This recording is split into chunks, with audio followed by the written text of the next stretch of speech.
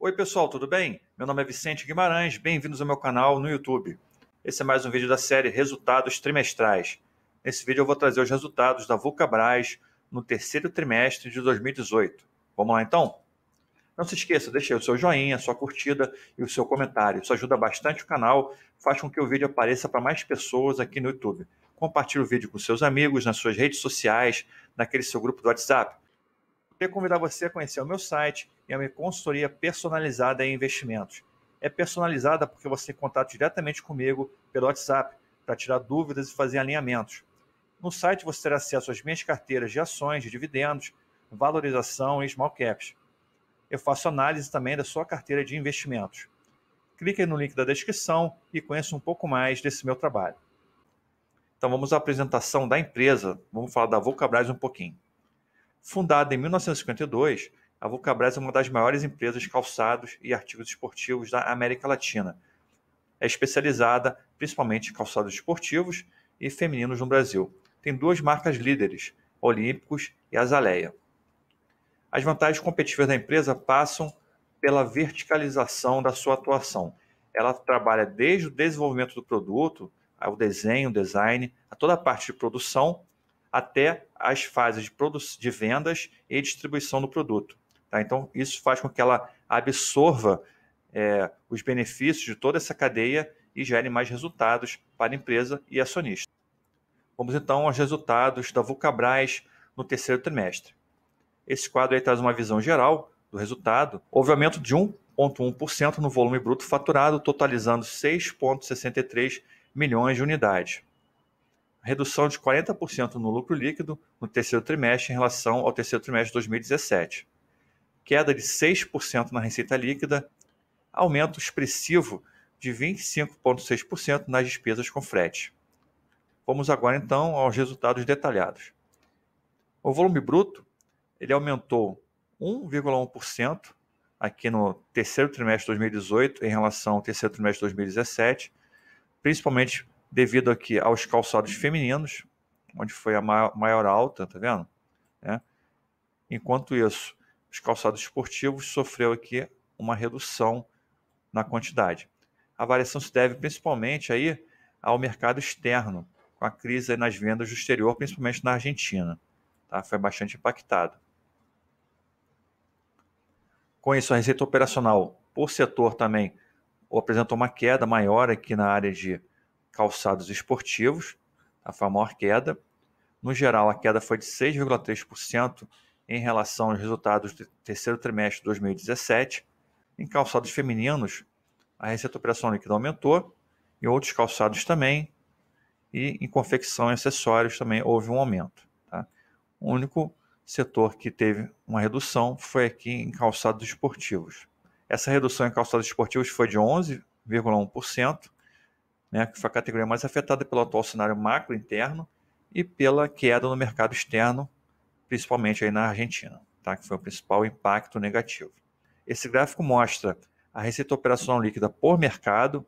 Você vê aqui que o mercado interno, essa pizza aqui, a parte da pizza azul, e o mercado externo é bem menor, tá? Esse pedacinho aqui verde, 9,2% é o mercado externo, 90,8% é o mercado interno.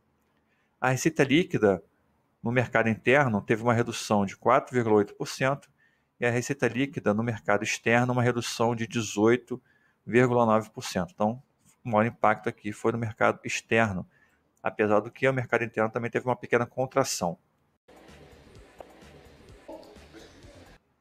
Outro fator que impactou foi o custo, o aumento dos custos e despesas.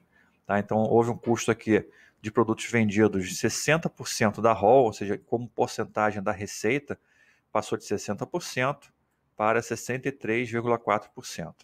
Tá? Segundo a empresa, isso ainda é parte do efeito da paralisação da produção ocorrida em junho, devido à greve dos caminhoneiros.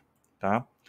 E outro impacto negativo foi a alta do dólar, que ocasionou aí o aumento do preço de algumas matérias-primas da empresa. Além do aumento dos custos de produção, houve o aumento das despesas com venda. Passaram aqui de 33 milhões para 36 milhões, um aumento de 7,8%. Tá? Como percentual da receita líquida, essa linha aqui cinza, elas passaram de 9,7% para 11,2%. Né? Então, segundo a empresa, isso se deve principalmente ao aumento dos fretes, devido ao acordo que o governo fez com o movimento dos caminhoneiros, e houve um aumento aí de 25% no custo da empresa com frete.